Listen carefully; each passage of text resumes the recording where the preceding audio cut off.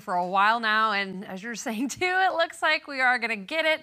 But that rain could lead to flooding concerns. Meteorologist Natalie Nunn is here to explain. But Natalie, the ground is so dry, you would think the water would just soak it all up. You know, that is what you would think. But when the ground is this dry, that always isn't the case. Now, I want to show you some video that I took this morning. This is typically a retention pond in front of my house, and clearly it is very dry. Dry soil absorbs moisture more slowly than wet soil does. This soil is what they call hydrophobic. Hydrophobic soil is soil that repels water, making it difficult difficult to absorb.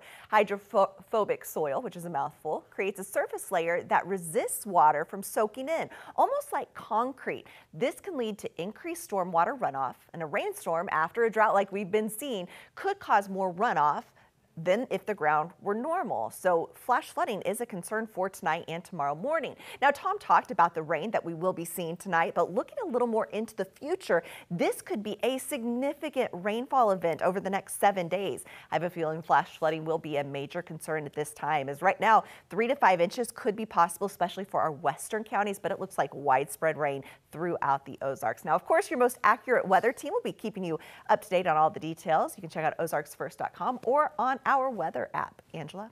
Yes.